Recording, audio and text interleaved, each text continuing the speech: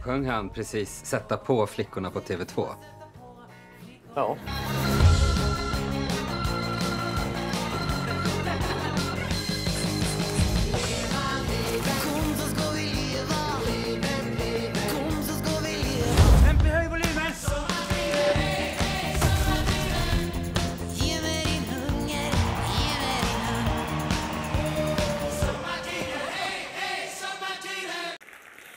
Och eh, välkomna upp och eh, vi har väl en... Eh, oj, oj, oj, oj, oj!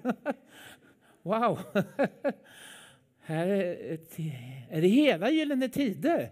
Wow! Ja, nästan. Men- Jo, det är det faktiskt. Wow, vad roligt!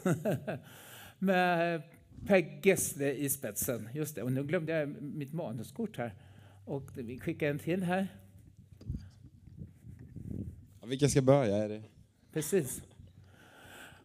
Ja, och den här semestertid, det är sommartid är filmen om Gyllene Tider då, som har premiär ja, vår, sommar. Moa Westersson, var är du? Det, Det är Cindy, den andra producenten. Cindy Ja, Hansson som är här. ja, Moa sitter där. Moa sitter där. Men vi börjar med dig då, för det är du som har trimmat ihop, eller du och Moa som har trimmat ihop den här ensemblen. Ehm, hur kommer sig det här att man gör film om Gyllene Tider och bilder de verkligen det också? Vi kontaktet Per og bandet og de hadde fått veldig mange forespørsler eh, om å gjøre en dramatisering av Pers historie og bandets historie innan, men hadde alltid sagt nei. Så vi var lite nervösa för att möta han och försöka liksom vinna över han. Men eh, efter vi hade möte med, med han och bandet i Tylösand, så sa de att det var vår passion, vårt engagemang och det att vi var så pålästa som gjorde att eh, vi vann deras tillit.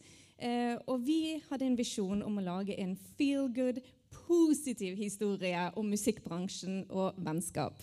Ah, vad spännande. Jag tänker, ni är, så, ni är så många och jag kommer ju säga fel här på er, eller ta fel. Så kan ni inte bara säga vem ni är och vem ni gör, er funktion? Eh, Valdemar, jag spelar Per. Du är Per Gessle, ja. Ja, Ville heter jag, jag spelar Mats Persson. En till Per här. Fast jag är regissör. Per Simonsson heter jag. Jag heter Phoenix och jag spelar Micke Syd, trummisen.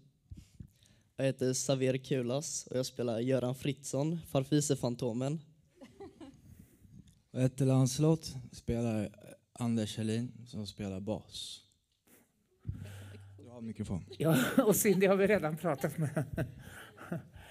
Ja, men då, då vill jag ju fråga, jätte, jättekul. Håller ni på? Är ni, är ni klara med filmen? Eller jag frågar regissören, vad, vad, vad finns ni i eh, Vi processen? filmade och- senast igår.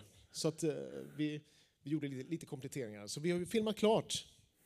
eh, Och sitter och klipper nu. Ja. Och hur kom du i kontakt med Gyllene Tider? Vad, den första, kommer du ihåg första låten? Ja, det, alltså Moderna Tider-plattan och det kan... Nej, jag är inte helt säker på vilken som var först. Eh, Nej. Men jag har ju kört en crash course i, i Gyllene Tider nu när jag har hoppat på det här projektet. Ja. Så de tre första pla- plattorna har jag, kan jag utan till nu. Skitbra. Hur gick det att regissera de här? Eh, de, de ser så snälla ut. Var de, var de där på, är de där på sätt också? Uh, ja, men det var väldigt, som regissör är det jättekul att ha en ensemble som består av nästan bara unga människor, 17 till 20, lite plus det. Som är, i stort sett är debutanter allihopa dessutom. Uh, och så det har ju spridits en skön energi, livfullhet och uh, naiv, glad, öppensinnad känsla. Så det var otroligt roligt och lite utmanande ibland. Nej, men jätte, jättekul. Valdemar, du som Valdemar Wahlbeck, du som får liksom, alltså, att spela Per Gessle, det är ju liksom, men har ni, ni, ni har träffats eller? Ja, vi har kämpat lite. Ni har kämpat lite? Ja. Ja. Jo. skulle man vilja vara en fluga på väggen. Vad sa han när, när ni träffades? Nej, han sa inte så mycket. Det var mest det här med att... Um, alltså, han, han, det står ju i tidningarna också, det här har sagt. Men det, just det där, gör din grej så blir det bra. Och eh, det var lite det du sa också, just det där liksom att... Um, alltså vi snackar ju mycket om det här, liksom, var går gränsen och vem är Gessle och vem är jag i förhållande till Gessle och sådär. va. Och eh, då blev det ju en slags... Um, Ja, det var väl som när han sa när han läste manuset att så här var det nog inte riktigt, men känslan var nog fan så här. Och, och lite så tänker jag att eh, det är så jag gestaltar kanske att jag är inte jättelik, men känslan i alla fall är väl där någonstans. Så att, ja. Men det, alltså, du kommer från Halmstad också som, som Per också? ja, jo. Är det, är det så? Ja, jag är ju från Halmstad då ju. Ja. Hur var det att, växa... Alltså, ibland säger man ju ingen är profet i sin egen hemstad, men var det mycket gyllene tider på gator och torg och pubbar och sånt? Eller Hur menar du? Alltså, att det spelades den musiken?